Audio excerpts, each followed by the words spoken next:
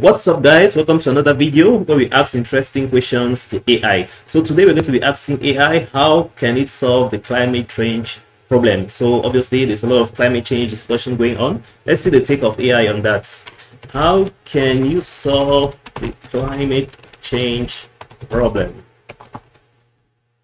All right, let's see what AI thinks about climate change and what's going on.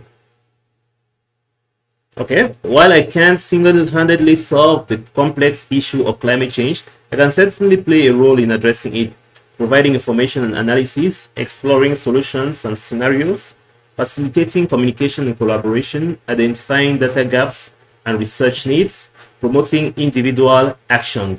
All right, I think maybe the question wasn't well formulated. I should maybe ask in the sense of how can we solve climate change? So yeah, how can we solve climate change. Yeah, I think that'll be better. We propose solutions that we can do as humans to solve that.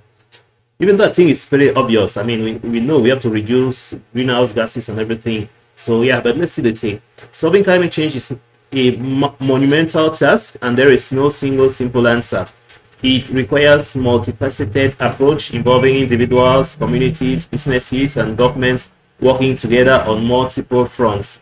Here are some key areas of focus. Transitioning to renewable energy sources, improving energy efficiency, protecting forests and natural carbon sinks. And yeah, yeah, so I already thought as well it was going to propose to us ideas which are already there. We know what we need to do. And so now it's a monumental problem because a lot needs to be done.